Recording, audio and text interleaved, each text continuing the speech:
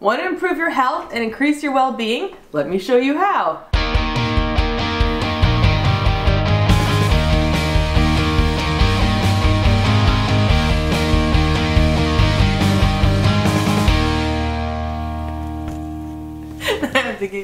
There was a recent study that was able to link viewing art and uh, benefits on the brain and, and the body.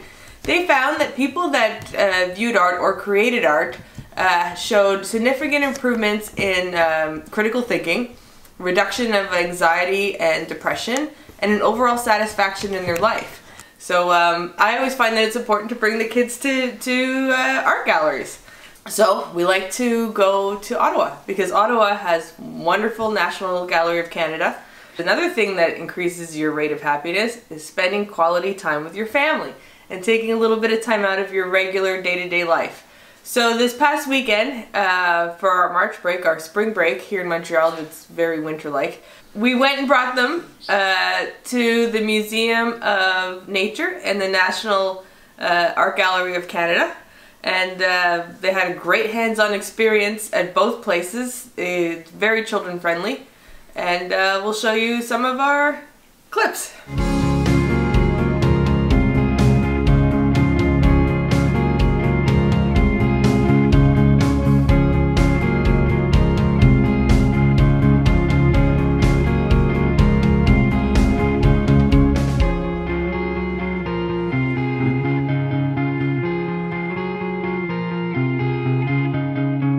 At the National Gallery of Canada, they had a great activity for, uh, I get anybody could do. We actually all did it together, which was a lot of fun.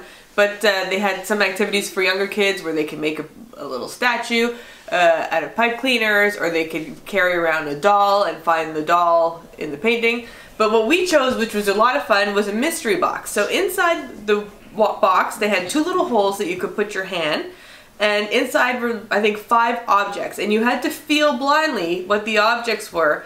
And then they told you the room uh, that uh, you would go to. And in this room there would be a, a, painting. So you'd have to try to find the painting that you that had those objects in it.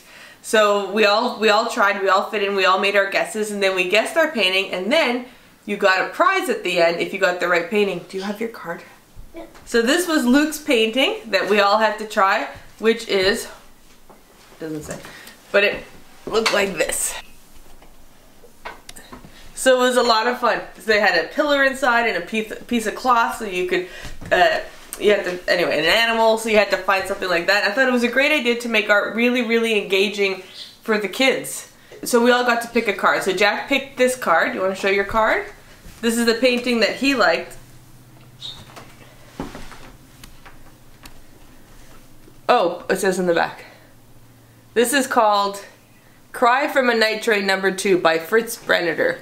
Jack uh, seems to be more of a fan of abstract art, eh Jack? Jack took a lot of pictures, a lot of pictures, great pictures. You like that one, eh? Um, he took really, really great pictures, which he's put up on his Instagram, which is private, you know, because he's only seven.